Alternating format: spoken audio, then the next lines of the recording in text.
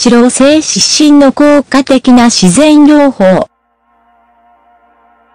脂漏性湿疹は、心筋が原因で起こる慢性の皮膚疾患です。この湿疹にかかる方は免疫系が弱くなっているため、心筋に勝てず症状が出ます。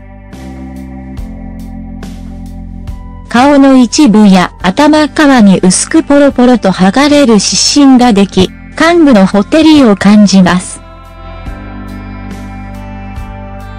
感染と間違えないようにしましょう。脂漏性湿疹の方が弱い症状です。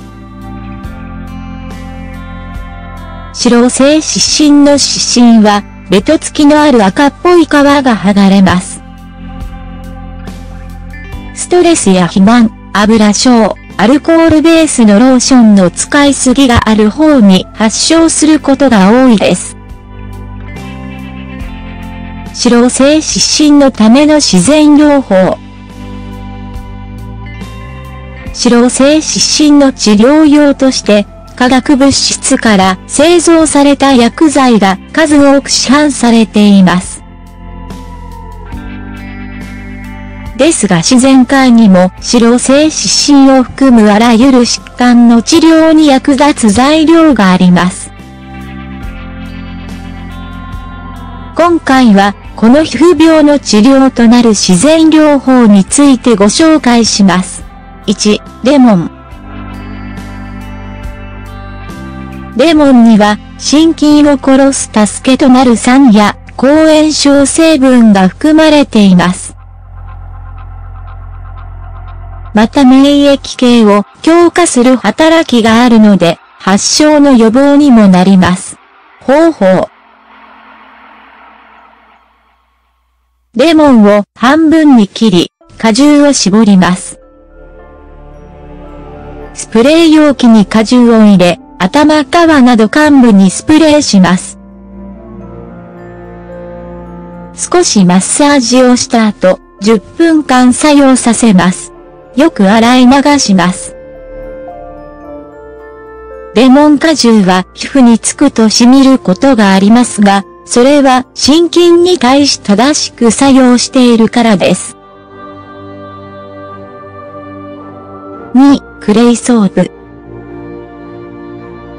自然化粧品の店などでクレイソープを入手することができますが、その有効成分により油老性湿疹の心筋を根本から叩く助けとなります。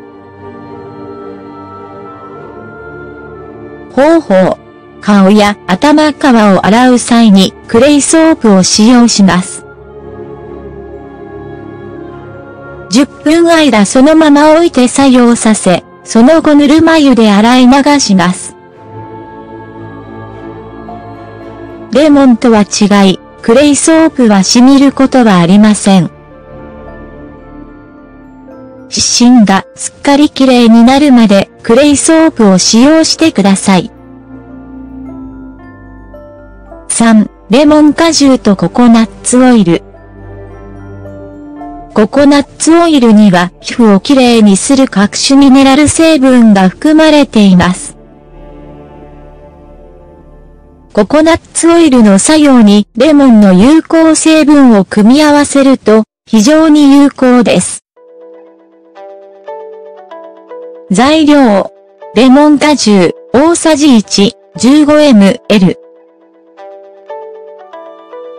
ココナッツオイル大さじ5 75G。方法。二つの材料をよく混ぜ合わせ、頭皮に塗します。マッサージをした後10分間作用させ、ぬるま湯で洗い流します。一週間、毎日一回行うと、症状に変化が見られるでしょう。4. アロエ。アロエの果肉は多くの皮膚や頭髪のケアに使用されています。脂漏性湿疹の治療としては、抗心筋成分を利用します。方法。アロエの果肉を取り出し、塗りやすいようにフードプロセッサーにかけます。患部に塗布してマッサージをし、20分間そのまま置いて作用させます。時間が経ったら、ぬるま湯で洗い流します。1週間、毎日1回行うと、症状に変化が見られるでしょう。5、蜂蜜。蜂蜜には、抗心筋作用とともに皮膚の pH バランスを整える効果があります。卵白または水と混ぜて使います。材料。沸騰させたお湯 250ml。蜂蜜、大さじ2、50g。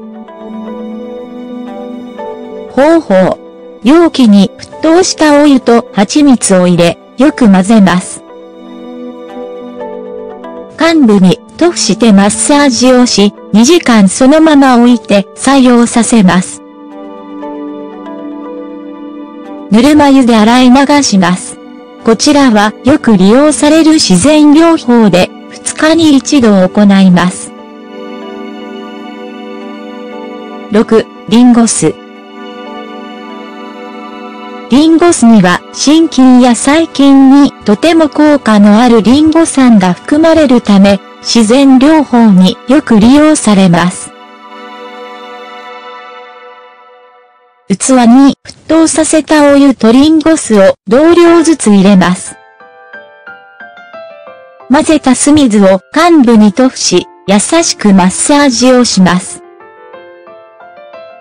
15分間そのまま置いて作用させ、その後冷水で洗い流します。患部の湿疹が綺麗になるまで続けましょう。脂漏性湿疹のかゆみやヒリヒリへの対処として、これらの自然療法のいずれかをぜひお試しになり、不快感を忘れましょう。